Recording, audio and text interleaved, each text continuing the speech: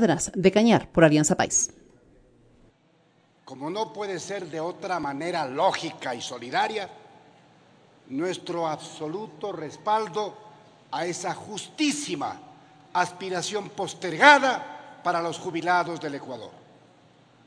Que no le quepa la menor duda que en este bloque de Alianza País exista una acción mezquina para el reconocimiento lato de un derecho consagrado.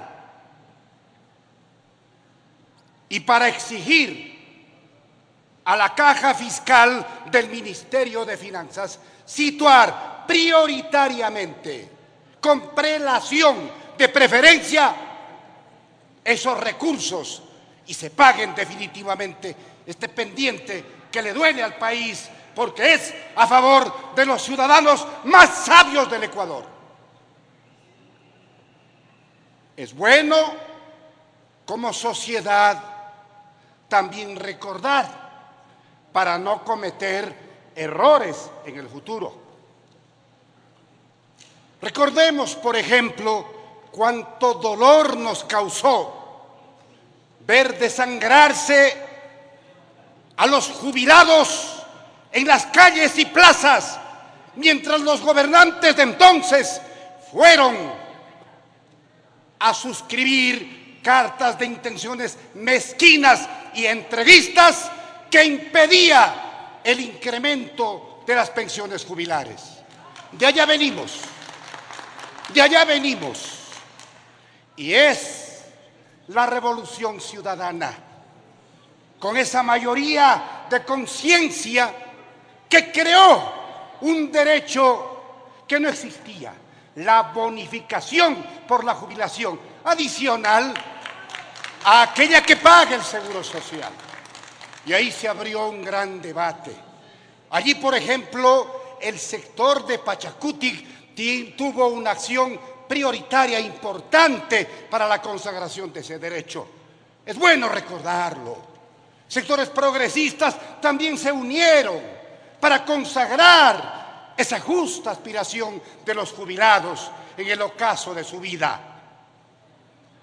Pero también recordemos las misas campales con calumnia incluida para decir que estábamos por aprobar una constitución abortista.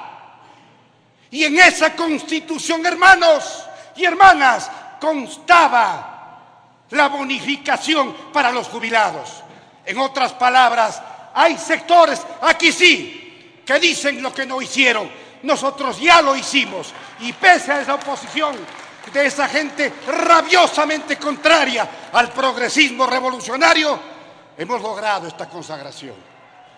Pero no solo eso, hace pocos, pocos meses, aquí se aprobó la proforma presupuestaria y se aprobó con el voto de los 74 asambleístas de Alianza País.